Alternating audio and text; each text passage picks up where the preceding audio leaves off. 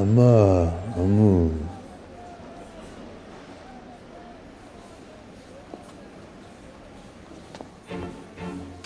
Vous y connaissez un petit peu en littérature? Oui, un petit peu, bien sûr. Moi, c'est mon domaine. Je peux vous apprendre si vous voulez, mais je, je vous reconnais. Vous êtes notre euh, supérieur à tous. Oui, c'est moi. Je vous admire beaucoup, vous savez. Amour mort. Comment une telle horreur peut-elle exister dans une de mes bibliothèques? C'est sans doute un signe. Ce livre ne devrait pas exister. Dans ces cas-là, il vaut mieux que vous le gardiez. hein. Je suis ouvert aux idées contre-révolutionnaires, mais c'est pour mieux les saborder. À bientôt, j'espère. À bientôt, peut-être, j'espère.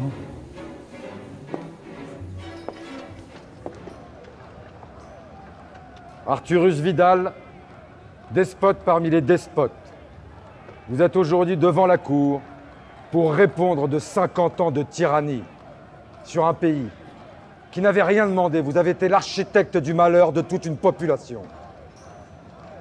Aujourd'hui, Arthurus Vidal, vous allez devoir répondre de vos actes.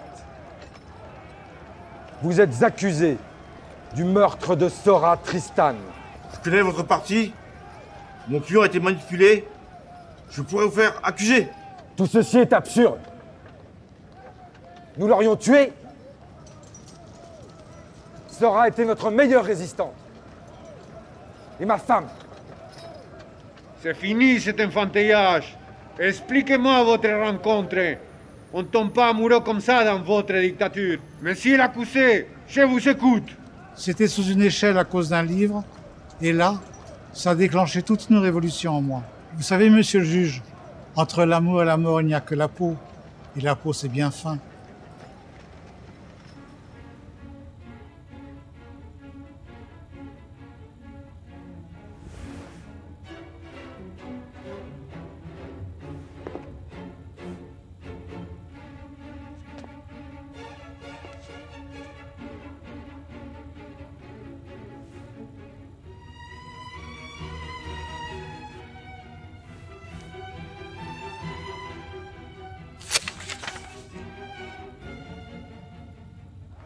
Je suis vraiment dépassé par les événements.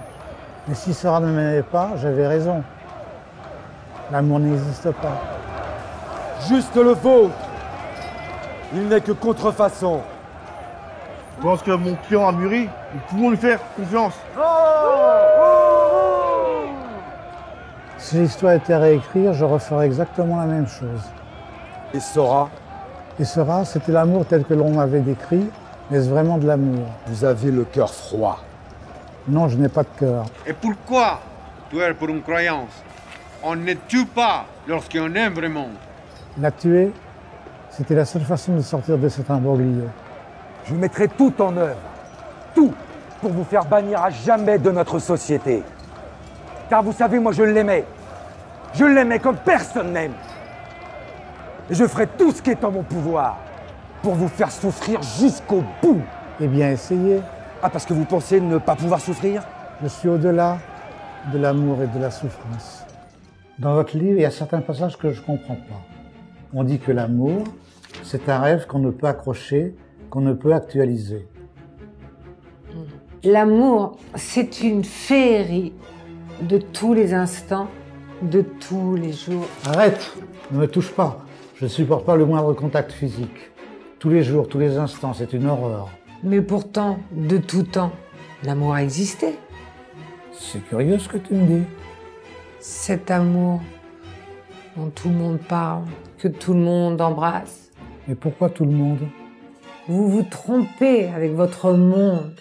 Depuis que je vous connais, je comprends plus rien à ma vie. Beaucoup trop d'émotions. L'amour, c'est une rosée le matin sur une fleur. C'est dans les bois aussi l'eau qui se pose sur, sur le sur l'herbe. L'amour, c'est un envol d'oiseaux. Voilà l'amour, Arcturus, non? Je ne supporte pas ton vocabulaire. Arcturus, je sais que vous aussi vous pouvez aimer.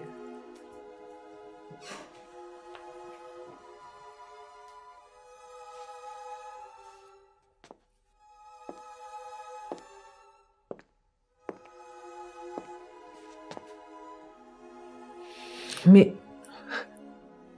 Ah, Arthurus, que fais-tu? C'est juste une, une petite discussion. Arthurus? Arthurus